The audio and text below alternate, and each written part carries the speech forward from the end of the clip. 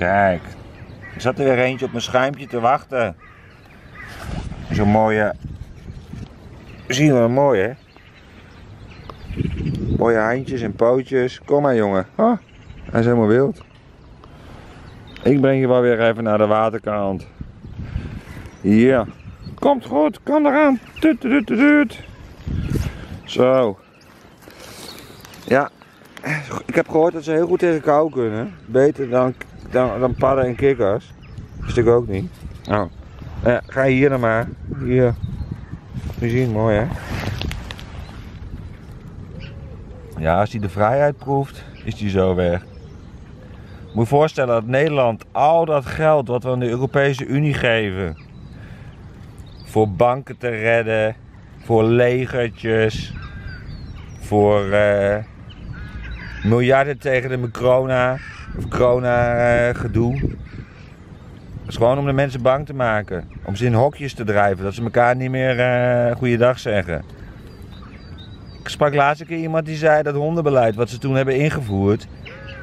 Dat hebben ze ingevoerd nadat eigenlijk in Nederland was er nog zo weinig criminaliteit voor 2000 dat ze gevangenissen moesten sluiten. Nou, toen zeggen ze ho ho ho, hier moeten we wat aan doen. Weet je wat we doen? We halen gewoon allemaal ellendelingen hier naartoe en dan komt alles weer goed. Nou, en het is goed gekomen hoor. Geloof me, het is goed gekomen. Het gaat helemaal volgens hun plannetje.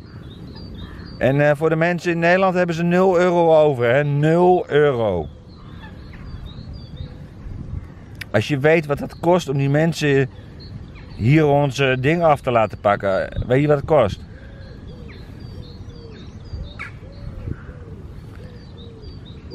Ik zag laatste keer, gingen ze even berekenen wat, wat zo iemand allemaal niet uh, kostte.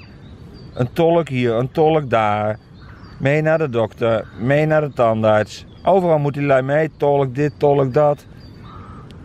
Overal alles maar gratis. Want ze moeten zich nog inburgeren. Terwijl uh, arme kinderen in Nederland, die moeten gewoon thuis blijven zitten. Inburgeren, bla bla bla bla. Die gaan echt niet inburgeren hoor.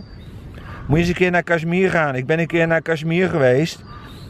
Nou, in Kashmir, ik wou het eigenlijk nooit zeggen, maar in Kashmir vermoorden ze dus alle mensen. Hindoes, christenen, die worden gewoon vermoord hè, massaal. Boeddhisten. Ik heb daar met twee oude vrouwtjes gesproken. En, en die zeiden dat zo, die vertelden mij dat zo. Toen zeg ik zo tegen ze van waarom gaan jullie dan niet weg hier? Toen zegt ze ja mijn kinderen zijn hier ook al uh, overleden, vermoord. Dan wou ze ook blijven tot ze vermoord bleef, werd. Oh. Maar waren twee oude boeddhistische vrouwtjes. Hadden ze daar kinderen al van vermoord. Oh, oh, nee, die wouden zich niet bekeren. Dat was het. Oh ja, dat was het. Ja. Want Pakistan, die zegt... Uh, geef Kashmir maar, laat Kashmir maar uh, bij ons komen.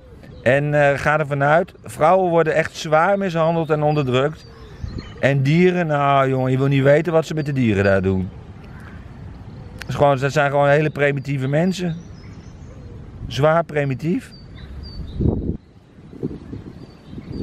Nou, ik zit alweer helemaal. Dus in ieder geval, dat gaat nooit goed komen. En uh, meneer Rutte en uh, en al die lui die er bovenin zitten. En Steinmeier, die weten precies, die weten precies wat ze doen hoor. Want ze zeggen van ja, we, doen dit voor puntje, puntje, piep, puntje, puntje, piep. Voor ons eigen volk, toch niet voor jullie. Dus zo zijn ze. Ze zijn ons helemaal aan het, ja, ik durf het woord niet uit te spreken, maar ik noem het maar moffelen. Hè? De moffels zijn al moffelen. Nou, dat was hem maar weer. Doei